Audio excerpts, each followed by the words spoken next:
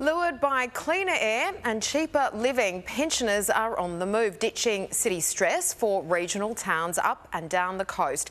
Seven of the 10 most popular pensioner postcodes now lie outside Greater Sydney, transforming sleepy towns into retirement meccas.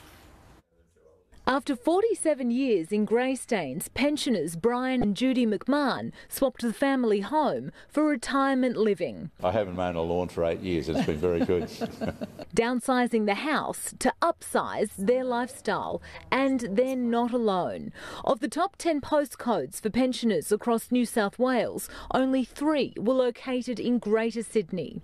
The other seven towns along the New South Wales coast, with pensioners flocking north to Coffs Harbour and South Tanara, and everywhere in between, including Port Macquarie and the entrance. Not only are there less pensioners in Sydney, there are less pensioners, full stop, despite an ageing population. People are more likely to be self funded now. So these are the baby boomers moving into retirement. Like retirees Brian and Jean Ratcliffe, who recently swapped Penrith for Coffs Harbour. It was becoming a rat race down there, overpopulated, not enough services, and just not a relaxing place to live.